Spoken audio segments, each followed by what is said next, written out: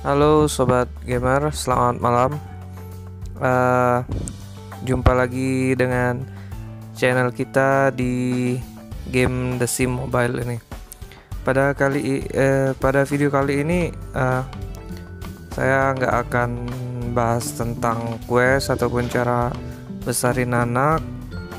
Uh, di sini saya akan mereview update terbaru dari The Sim Mobile ini yang barusan saya update.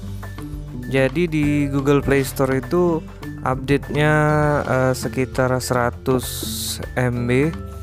Uh, saya lupa tepatnya berapa yang jelas 100 lebih tapi tidak sampai 200 MB. Kemudian uh, download lagi di dalam game The Sim-nya sekitar 589 kalau nggak salah 589 MB. Uh, pokoknya nggak sampai 600 MB. Nah, jadi fitur apa saja yang baru dari updatean terbaru ini? Uh, nah, di sini uh, kalian bisa lihat Heirloom Collection. Heirloom Collection ini uh, untuk dapetin cerita baru, skill baru, ataupun hobi baru. Jadi uh, semuanya terbuka itu bisa dibeli dengan uh, koin heirloom itu jadi kalau yang warna ungu bisa dibeli dengan koin heirloom yang ungu. Yang jelas susah didapat kalau yang ungu.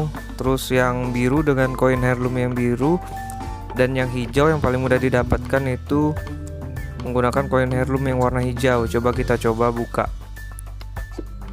Nah nah di sini.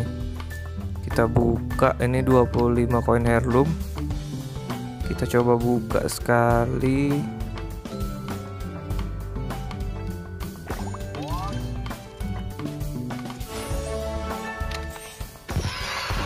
Nah, dapat ini generous 2.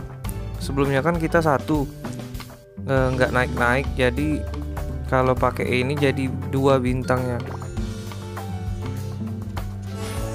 Coba sekali lagi dapat apa? Ini dapat flirty itu juga yang sebelumnya bintangnya satu. Nah ini otomatis meningkatkan level uh, lifestyle kita juga jadi nah di sini uh, di update terbaru ini muncul lagi event back back ini. Mungkin kalian sudah pernah mengikuti event ini di sebelum update ini. Seperti biasa ada hadiah menggunakan sweet trade box dan royal trade box. Harganya juga masih sama 400 sweet box dan 10 koin royal trade box. Nah, di sini kita lihat quest apa saja. Quest juga sepertinya masih sama. Quest dari event yang tadi. Tidak ada quest baru seperti Star Wars kemarin. Nah, di sini ada update terbaru. Jadi kita bisa meningkatkan rumah kita sampai uh, 3 lantai. Seharga dua, harga lantai kedua yaitu 20.000 koin simoleon silahkan kumpulkan dulu uangnya untuk membuka ini. Nanti kalau koin saya sudah terkumpul saya buatkan lagi videonya bagaimana membuat lantai yang kedua ini. Nanti sekalian kita dekor. Nah di sini juga ada tiang yang ini saya juga belum tahu karena ini juga sepertinya updatean terbaru yang barusan. Nanti kita coba sama-sama cari tahu. Interior wall kayaknya nggak ada yang baru. Rooftop juga. Nggak ada yang baru kayaknya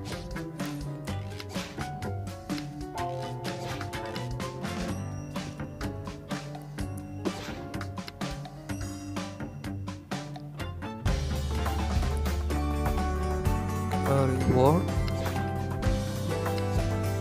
ya, nggak ada yang baru sepertinya cuma nambah lantai tadi saja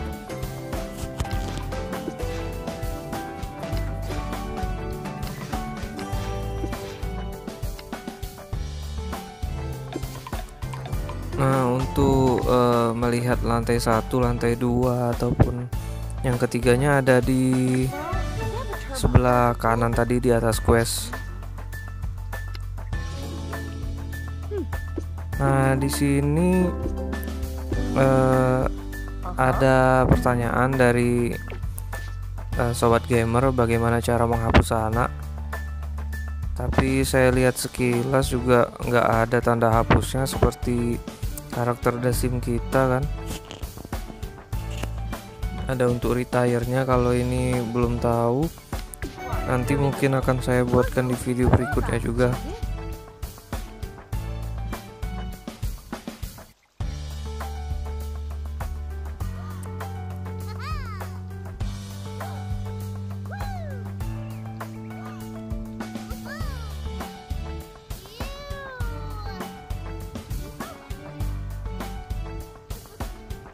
Uh, kalian bisa lihat di atas tadi eh di atas 14 quest tulisan 14 quest sebelah kanan itu ada satu dan lambang lantai.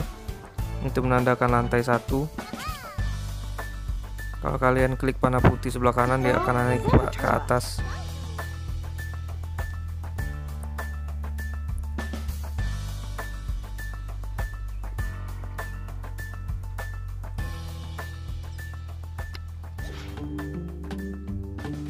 ini misi uh, back itu. Silakan kalian tinggal klik start dan le klik let's go untuk memulai eventnya. Uh, silakan share komen dan subscribe channel ini. Bantu untuk mendapatkan 100 subscriber pertama. Sampai jumpa lagi di video berikutnya